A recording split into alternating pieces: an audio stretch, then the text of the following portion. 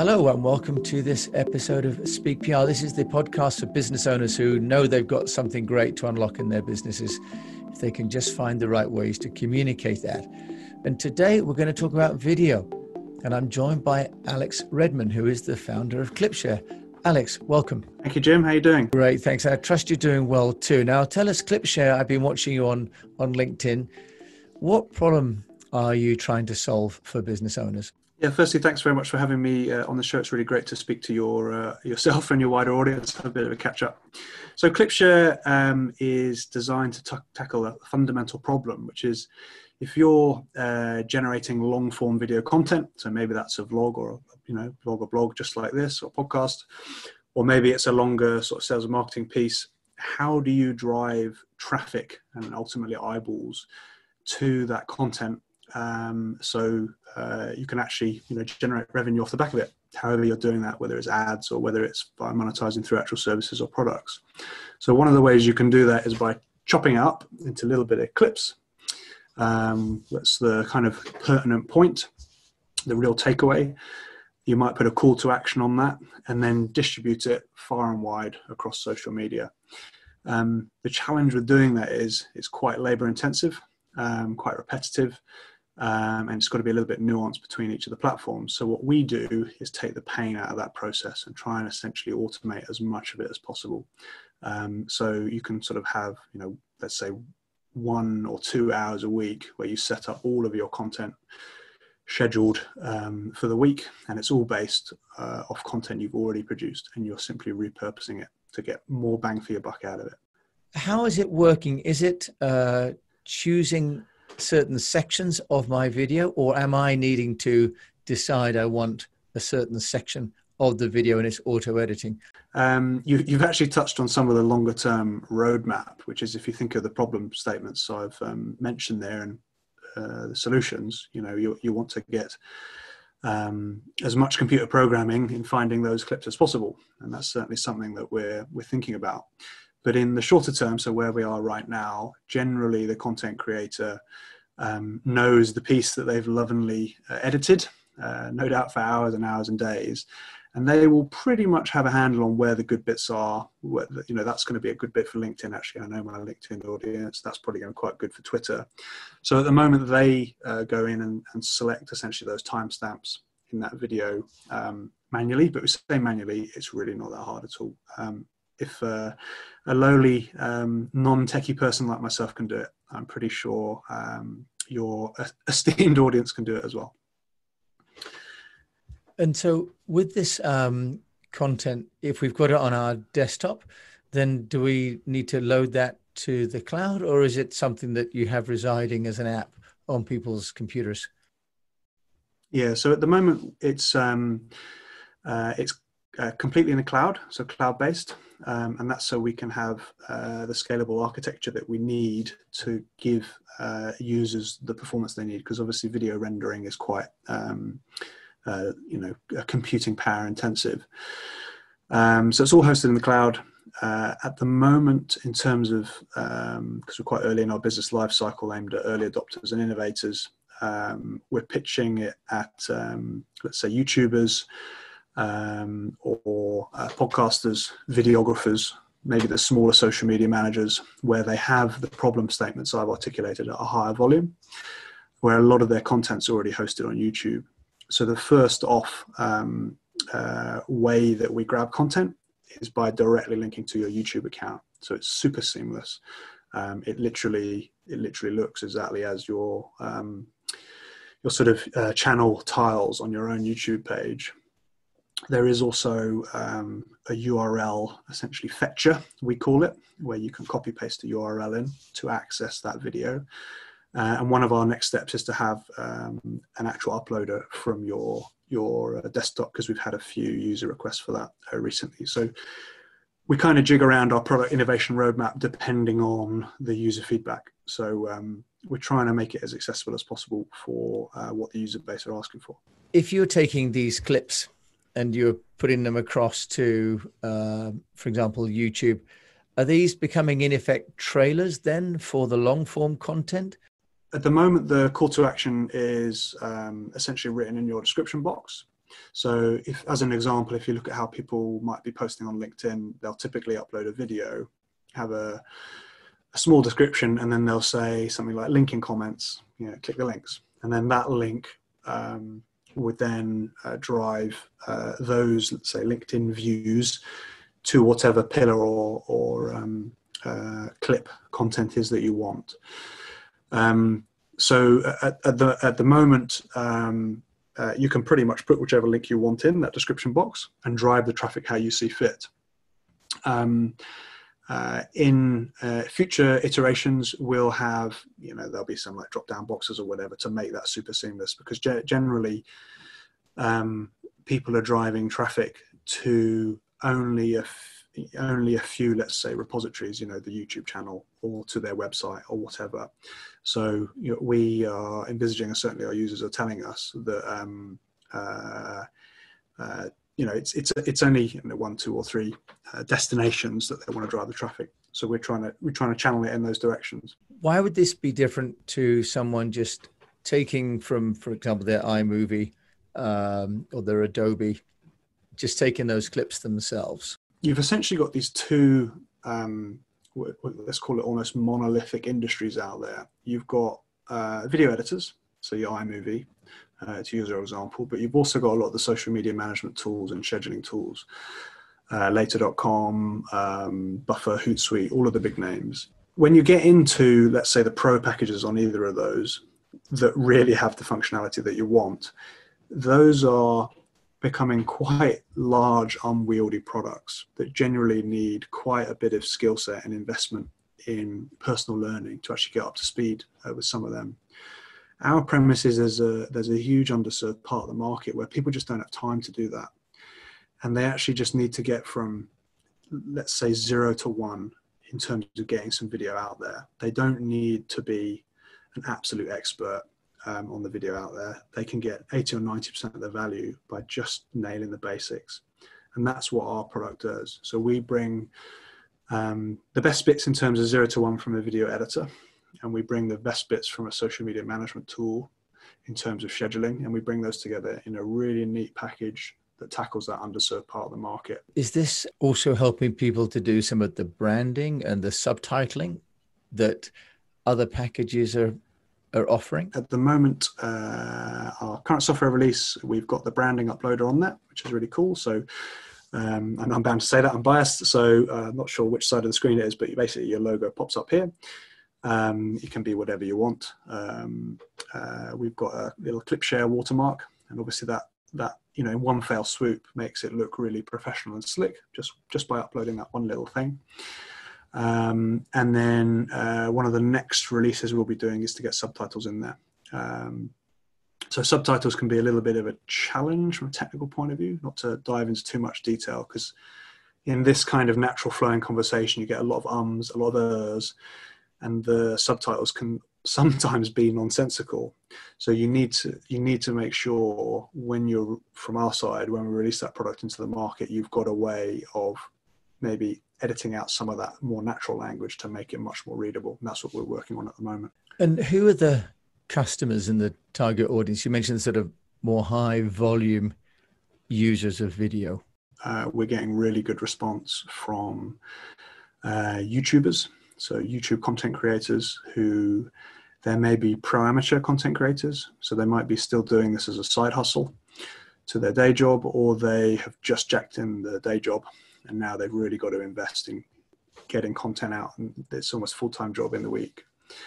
Uh, Twitch streamers, um, other uh, you know, obviously streaming has gone through the roof in the last uh, couple of months for all the obvious reasons. Um, so we're getting a, uh, some good response and traction um, on that side, uh, and also um, I'd say smaller social media managers that are looking to find an edge. Um, so what we found is some of the bigger social media managers, because they're being, you know, bombarded by people wanting to sell them products every day, they want case studies. We're still a little bit younger, whereas the smaller social media managers are much more open to um, uh, tools that can really give them that edge. So I, I, had a discussion with a social media management firm uh, up in Manchester recently, and their feedback to our product was um, there was a quote. I'm better, you know, it's nice of me to say this, but they said, um, you know, this is the tool we've been waiting for. Um, but the really thing, the really interesting thing they said that opened my eyes was this will allow us to bring um, social media management back in house because it will essentially allow them to restore their margins on that piece of work because it takes the um, so much of the labor element out of it from their side. So that's really really compelling. You know, if they can add you know another you know line item to what they're offering from their existing resource, that's really really powerful. What sort of skill sets would an individual need to use ClipShare? Uh, if you can use LinkedIn, you can use ClipShare. If you can use YouTube, you can use ClipShare.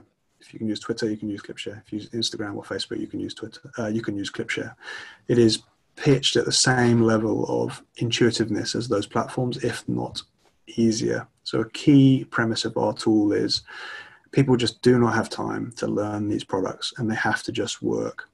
Um, so uh, part of our um, uh, offering is to just stay as simple as we can in terms of that user interface.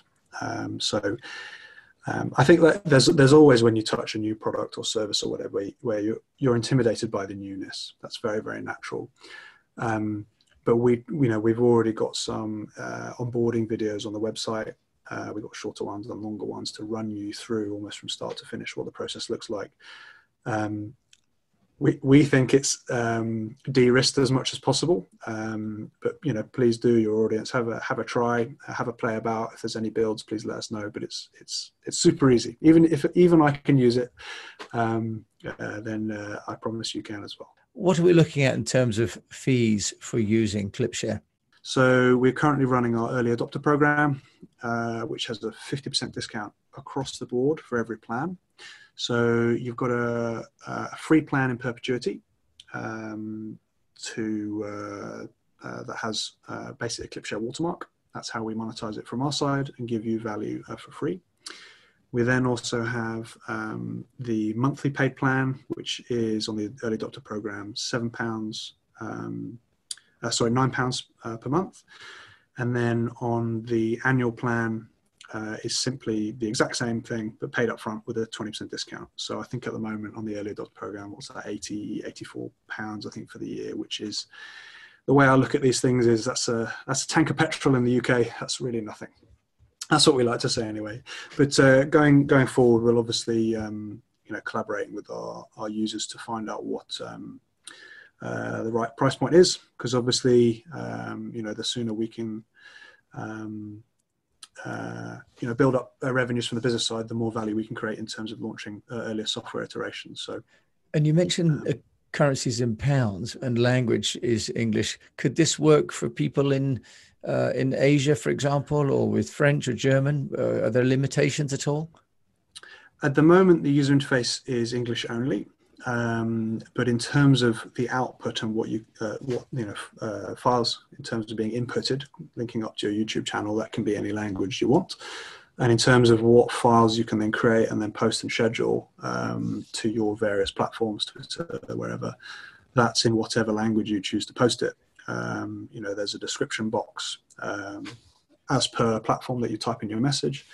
You can type in whatever language you want in future, we will be doing a more, um, let's say, uh, slick language rollout. But like all these things, um, when do you do it? When's the right time? Uh, which market do you go after first? And we will we will get there. But certainly, you know, if you're in China right now, or Japan, or Russia, uh, so long as you can speak English, you can use the product, no problem. And Alex, you mentioned YouTube, but what about for companies that are using platforms like um, Vimeo, for example, for live streaming or Dassault? Yeah, great question. Um, uh, long story short, not yet. Uh, we um, have got a, a, lot of things in our um, basket that we want to do. Um, we haven't uh, done Vimeo yet. It's going to be there soon. Um, we're, we're, we're trying to be quite considered in terms of how we do the various platform API integrations. The reason being is over the last few months, there's been a lot of moves in the social media market. Um, look at the big announcement for Joe Rogan's podcast moving over to Spotify. Uh, look at what's going on with TikTok in the US. it's it, as a as a third party provider in this space, we've got to be very very targeted for which platforms we invest in hooking up to. Um, because from our side, you know, if we put a significant investment in terms of um, software dev, and then we're not allowed to access the market because Donald Trump has done something, that's a key risk. So, at the moment, it's um, YouTube only or a URL uh, link in the coming days um, and then the desktop file uploader. So we think that allow that package quite early on allows us to access pretty much most users. Um, and then for areas where we're getting more requests, we'll look to prioritize those accounts. So if enough, if, if enough people shout about Vimeo, we'll bump it up the product innovation roadmap and we'll get that linked up as soon as we can. Alex, that's great. So you also mentioned there's a share it function. So what's the share part of ClipShare? Yeah, exactly. So, um, so you've uh, you've got your long form content, and you've cut up all these little clips um, that you want to to distribute.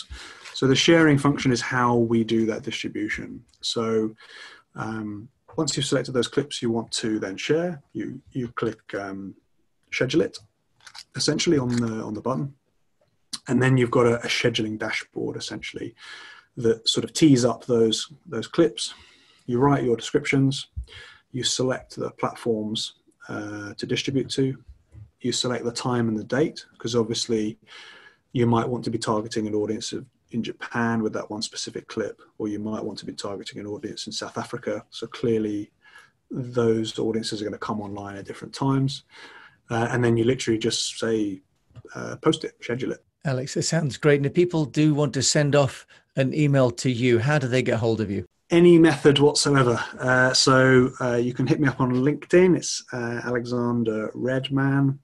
Uh, my email address uh, is alex at clipshare.it. Um, you can go to our website. My contact details are all over the website.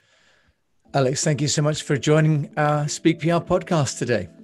Fantastic. Thank you very much for having me, and um, obviously wish your audience uh, some success in what's a very tricky year uh, for all of us trying to uh, build businesses and generate revenue for our clients and also our families. That was Alex Redman of Clipshare.it, which is a way that you can start to make fragments and little trailers from your long form video and upload them, but then also distribute them. And so this is part of our five stage methodology, the Speak PR, which is storify, personalize, engage, amplify, and know. And clip.it obviously is under the amplification module. So thank you so much for listening to this episode of Speak PR. If you like it, please do rate it, subscribe, come to our website at eastwestpr.com to subscribe to our weekly newsletter or get in touch with me, jim at eastwestpr.com. And in the meantime, until we meet again, I wish you the best of health, a profitable business, and that you keep on communicating and sharing it.